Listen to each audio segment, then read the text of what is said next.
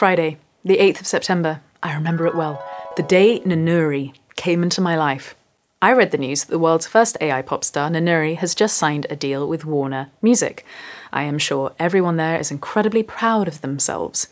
Warner, the corporate mega giant record label, who over the years have released records from Eagles, ACDC, Dua Lipa, Nile Rodgers, the Black Keys, and Fleetwood Mac, have decided to sign what's been described as the world's first AI pop star, for reasons known only to them. Excuse me. Before you ask, why, why, Mary, are you giving this totally dispiriting, ridiculous story any airtime at all? Shouldn't you just keep singing songs? And you might be right. I'm fully aware that even bringing this up just adds more eyes on something that, frankly, deserves to be seen by no one at all. Maybe I'm playing right into Warner's hands because we all know any publicity is good publicity. But I have a point to make, so stick around, and if you enjoy the video, please consider subscribing because, good lord, do I need the help now more than ever, and I actually think this might be the reason some artists are cashing in and selling their catalogues. The news has just dropped that Katy Perry has reportedly sold her catalogue rights for $225 million. Maybe she knows something we don't. So, Noonoouri is the creation of the German fashion designer Jörg Zuber. She is a computer generated artist, model, virtual influencer, and self described fashion icon with an AI generated singing voice. She collaborates with top brands and magazines like Vogue China, Cosmopolitan India, Glamour Brazil, or Trussardi. She also uses her reach to bring awareness to environmental issues, giving her a deeper meaning in the virtual influencer world smiley face. Now, Noonoouri starts her music career, literally giving a voice to the voiceless.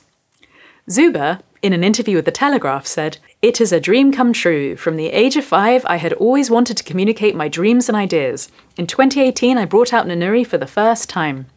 This new step is very exciting and such an honour. Warner approached me about making music. I look forward to doing more in future. Now, humans have sought to communicate their dreams and ideas with their art throughout history. Nothing new there. And this song was not written by AI, it's been co written by Committee, German DJ Alle Farben being the main collaborator. It was also, by the looks of it, actually performed by a human singer first. The instruments have been played by humans too, and the dancing done by a bearded man in a motion capture suit you sort of wonder whether the first true AI pop star shouldn't be entirely generated by AI, visually and musically, not partially. But you know, news headlines need a snappy title. Noonoouri herself has since rode back a little bit, saying she's a CGI pop star, not AI. Over on Noonoouri's Instagram, someone writes Music plays a big role in my life since the beginnings. It sets me into the mood and nourishes my visions and ideas to bring them to life as a driving force inside of me. Warner Music is the home of a lot of my fave music artists. I cannot be more thankful and honoured to join such a wonderful family where music tunes are the beat of life. I completely agree. Music tunes are the beat of life, aren't they? Obviously, there's been a lot of media attention. This is from an article in Forbes for a music company like Warner. It's easy to see the appeal. Noonoouri, the creation of artist Jörg Zuber, won't get worn out from touring and promoting her music, and she can be restyled in seconds to keep in step with changing teen trends. And if she makes it to superstar status, she won't start making diva like demands or demand an enormous pay rise. Cool, absolutely nothing worth commenting on there, is there? Moving on, Noonoouri is pitched as being politically active. She has spoken out on issues including veganism, animal cruelty, anti racism, and LGBT rights. I just, I mean, where to begin? There's just so much wrong with this, isn't there? Pitched as being politically active, as if an artist's thoughts and opinions should be decided by focus group, depending on how they poll with audiences. There's no courage of conviction, no standing up for what you believe in, no risk, no feeling. When I think about every human being who was moved to put pen to paper or words to music because they needed to express what they felt burning within them, It just feels dystopian as hell, and I usually try to be positive, but the song's awful, just so generic, just filler, cliched, forgettable, no pain, no joy, just bland nothingness. And my worry is that you might not even notice if this played on the radio. Now, imagine for a second that you're a Warner artist, a human Warner artist. Let's say, let's say you're Dua Lipa. First of all, lucky you, love your work.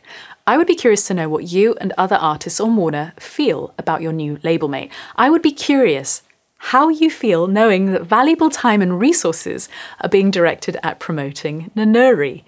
How would you feel knowing that labels are excited at the thought of removing the artist's need for sleep, emotional support, fair payment, and so on, in order to maximise their profits? Because this is what Warner wants you to listen to. Noonoouri. 24 7. Noonoouri. No sleep. Just Noonoouri. No breaks. Noonoouri. In the gym. In the car. In the club. Noonoouri. Sounds great, you say. I can't see anything wrong with it. All above board. We're each entitled to our own opinion, of course. You might say that anyone, human or non human, that promotes certain values like equality or LGBT rights to receptive audiences is a good thing. That may well be true, but this story has confirmed what I've always thought that no one cares about you and your work more than you do. That mega labels view artists as the product, nothing more that artists need to build their own networks and support systems and not rely on anyone else other than their true fans. If that means you don't have the same reach as a super huge label, that's okay. I'm not the only one who thinks this way. The late great Jimmy Buffett gave a talk seven years ago to the American Library in Paris about leaving his label and keeping his independence. Content is still king, and if you can create stuff you know, and, and uh, it's still, there's, whatever the technology is, they still need us. And that's what I try to tell kids out there. But be smart about it, and if you can, work for yourself so that you can, you can be yourself and not take, you know, not take the bait and get thrown into the tank with the rest of the tuna. Stay out there and swim.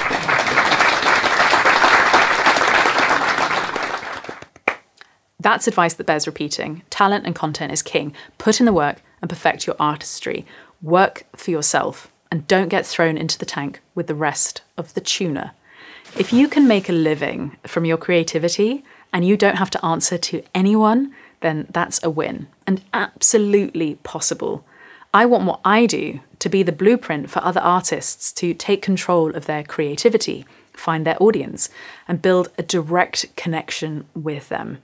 I've been thinking about this for a while. I know that some of you watching are musicians starting out on your own journeys, and I want to help however I can. And some of you are passionate fans who want to use their skills to help build a new kind of music industry. So I'm starting a newsletter separate to my own monthly updates called The 21st Century Musician, where I can put some of these thoughts down on paper.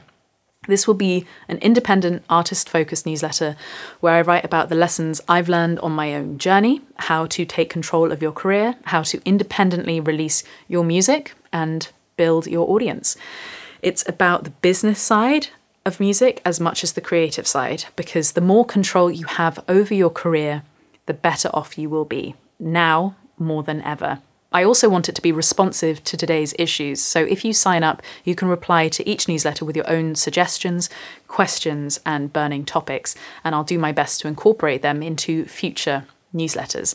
It's free to sign up. This is about sharing knowledge, giving other emerging artists a platform, and just trying to do the right thing. Because if we don't look out for each other, then no one else will. So thank you for listening to this rant. Please do comment. I cannot wait to hear your thoughts. If you're interested in the newsletter, I have put a link in the description, so why not try signing up? And as always, I'll be seeing you here again really very soon. And I promise to, yeah, maybe start singing a little bit more in a real human kind of way. Okay, over and out.